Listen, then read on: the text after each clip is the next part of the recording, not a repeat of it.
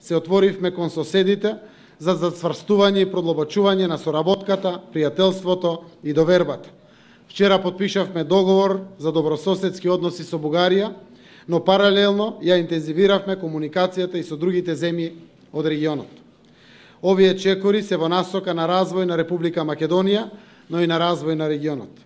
Очекувам дека ќе придонесат кон напредок на европските и евроатлантските интеграции на Македонија со членство во НАТО и со сериозни придвижувања на државата кон членство во Европската Унија. Охрабрени сме од оптимизмот, вербата и поддршката што ги чувствуваме од нашите граѓани, но и од оптимизмот, вербата и поддршката што доаѓаат од Соединетите Американски држави и од нашите пријатели, земјите членки на Европската Унија.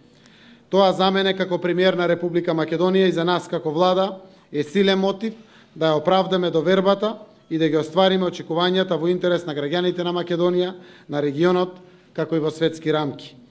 Бидејќи ова самит што се однесува на НАТО интеграциите, изразувам во оваа прилика благодарност за постојаната соработка со Соединетите Американски држави, кој што многу значи за демократските интеграцијски процеси на Македонија, а и воопшто на регионот.